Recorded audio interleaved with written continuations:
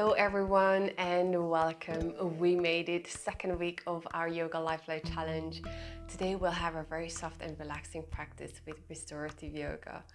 You can choose to practice in the morning or in the evening and please wear comfy clothes for an added relaxing sensation. You don't need any props, just a flat surface. Today's practice will be around 50 minutes long with 90 seconds and 20 seconds of rest in between so we get to switch or change position. Kind reminder to set your intention and show some gratitude towards yourself. Music and previews as per usual will be shown on the screen and I'm super looking forward to relax during today's class. Meet you on the mat, let's get started.